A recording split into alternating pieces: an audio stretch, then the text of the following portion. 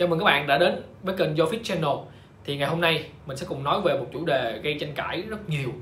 Đó, đó là ăn trứng, cụ thể là lòng đỏ có làm tăng cholesterol trong máu hay không?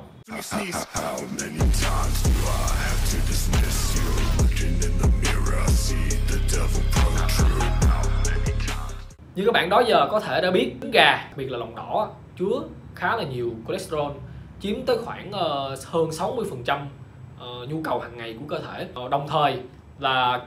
các cái bệnh mà liên quan tới tim mạch đó, thì nguyên nhân chính là do cholesterol trong máu cao.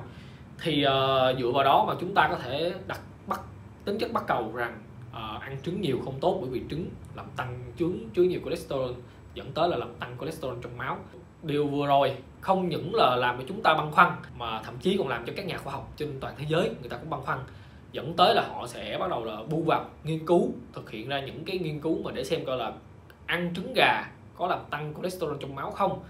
Thì kết quả à, thật là kinh ngạc chỉ ra là cô ăn trứng hàng ngày là một tới hai trái nha là không làm tăng cholesterol trong máu. Lý giải cho việc này thì là về cơ bản gan của chúng ta vẫn sản xuất được cholesterol chủ yếu là từ uh, chất béo uh,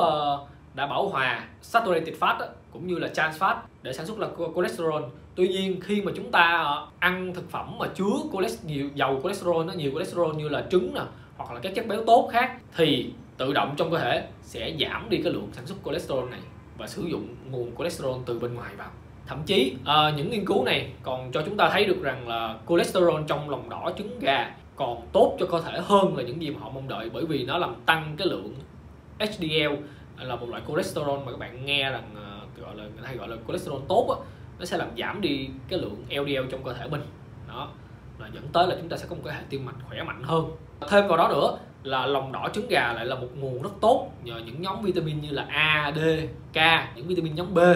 Đó, thì tại sao chúng ta lại bỏ phí đi một nguồn dinh dưỡng tốt như vậy? À, dĩ nhiên nó đi cũng phải nói lại à, lòng đỏ trứng gà tốt vậy nhưng mà các bạn vẫn phải xem coi là hiện tại sức khỏe mình đang như thế nào? Nếu mà các bạn đang là người uh, bị bệnh tiểu đường bị các bệnh về tim mạch uh, uh, nói chung là đang có bệnh lý trong người thì mình nên hỏi ý kiến bác sĩ. Uh, còn lại thì nếu mình là người khỏe mạnh thì cứ ăn thoải mái. Uh, miễn sao là mình có vận động hàng ngày tập luyện thể dục thể thao. Thay vì các bạn các bạn quá lo lắng về cái chuyện là ăn một hai trứng một ngày có làm tăng lượng cholesterol hay không thì các bạn hãy dành sự tập trung đó vào cái việc xem coi là chế độ ăn hàng ngày á, trong khẩu phần ăn hàng ngày của các bạn là lượng chất béo có đang quá dư không? Đặc biệt là chất béo mà đến từ uh,